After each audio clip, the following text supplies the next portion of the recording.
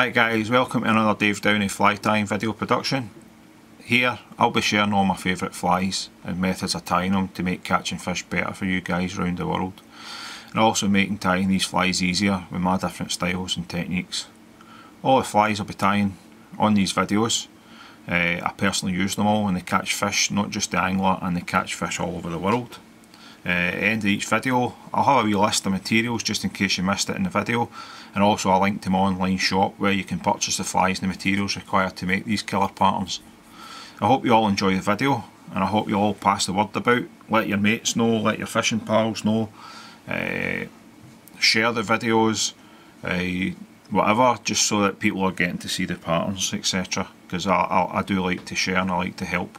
Uh, today I'm going to tie a, a, version of the thread fly, which is a famous Czech fly, first given to me by Martin Droz. Uh, what we'll be using is, I've got in the vise a size 14 jig hook. You can use whatever type of jig hook you like, but I'm using Veniard's Osprey ones because I think they're quite good hooks. They've got a good gape and they've got a little turn point on them.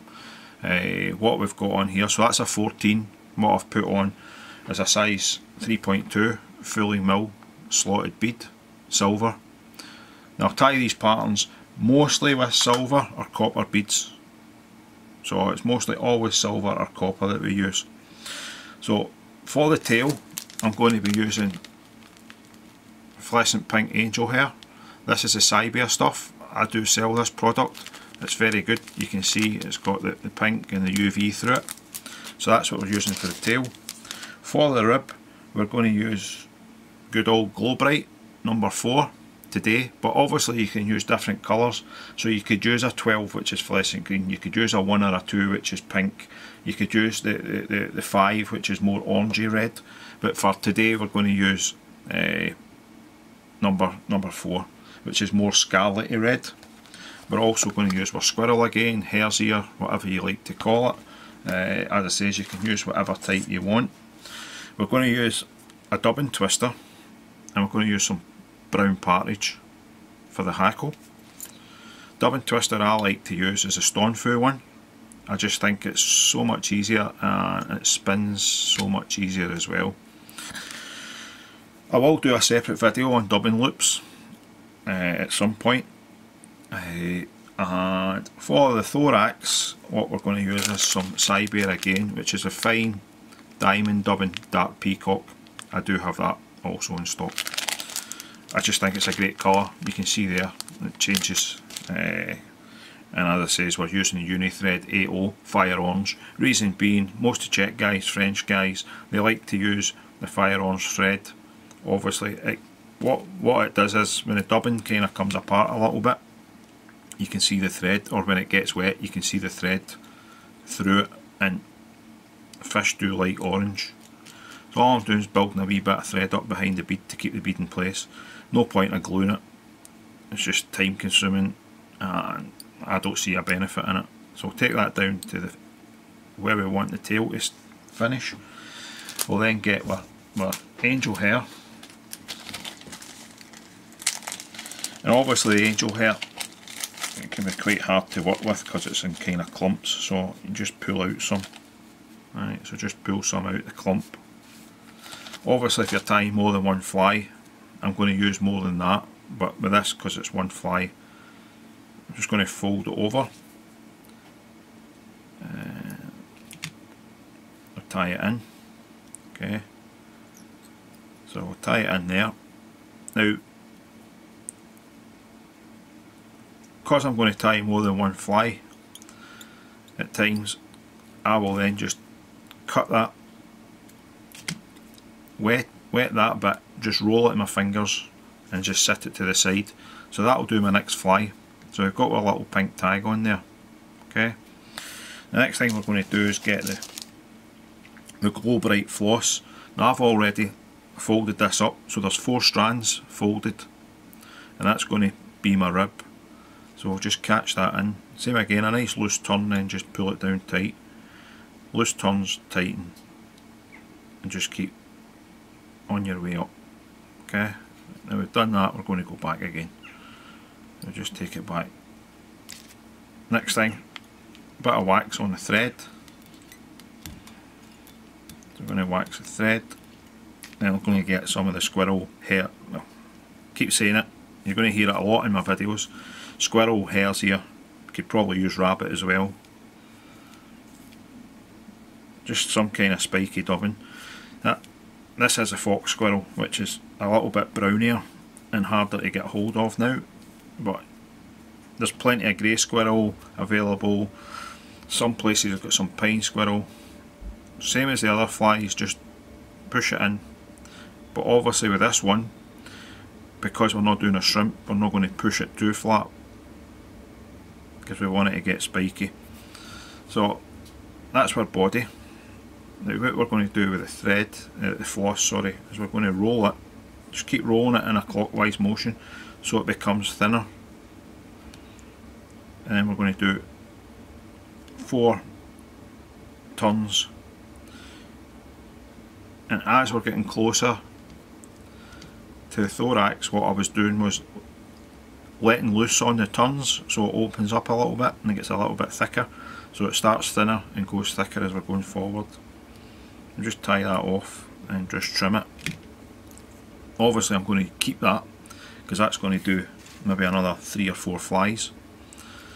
So what we'll then do is we'll make our loop okay? So tying the loop in and then just spin the bobbin around the loop a couple of times and tie it off. Uh, I'll put my bobbin ho holder to the side. I'll get my dubbing twister. Okay. And what we're doing is we're creating a triangle with the dubbing twister. Right. I'm going to put a bit of wax in that wee triangle. There's a bit of wax in there. Okay.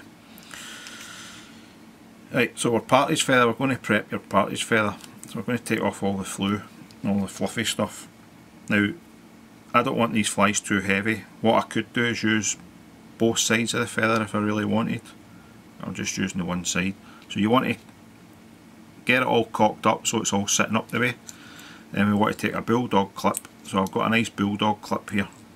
You can use fancier tools if you want, but I just like the bulldog clip. Then just catch the feather. Obviously, don't cut it too close to the clip. Then that's you got your little bits to catch in. So open up the triangle and slide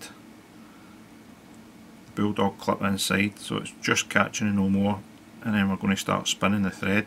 This is a tricky bit, you've got to make sure you're ready to go with this because as soon as you let go of that clip, if you've not caught it with a thread, I do a couple of wee spins first and it catches then I'll spin it a bit more.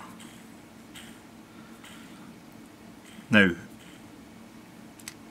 obviously you need to watch that you don't spin it too much because you'll snap the thread. You can use hackle pliers to basically catch this piece, spin it round. I use these hackle pliers. Uh, Fu ones are fantastic. But as long as you're catching it properly, you can just actually tie it in with a dubbing twister. And pull the fibres back and just slide your thread round. Couple of turns to catch it in and then just clip. And then we'll just tidy it up a little bit. That's you got your hackle. Now you can have it longer, you could have it shorter, sometimes I like it a wee bit shorter.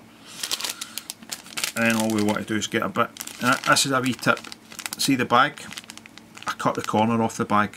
Eh, then it means I don't have to keep opening and closing the bag. And as long as there's a little bit of dubbing hanging out. Sometimes it's better to wet your fingers when you're doing using synthetic dubbins just to get that onto the thread. And obviously it'll hang out the corner of the bag. You can just pull out a little bit as you need at a time. So tie the dubbin in first whip finish.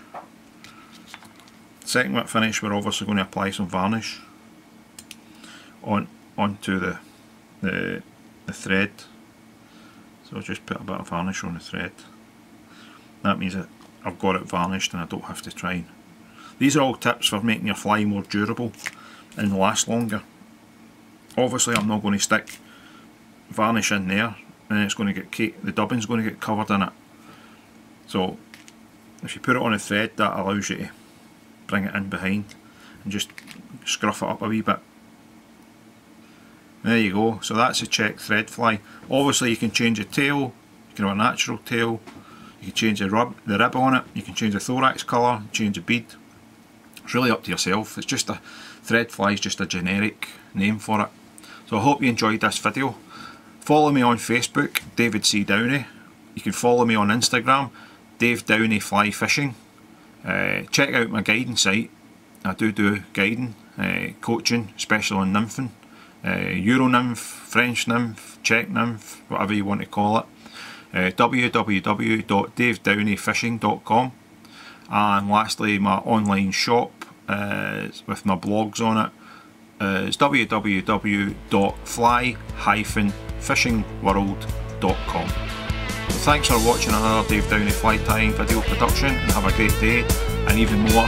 Have some great fishing days. Cheers. Thanks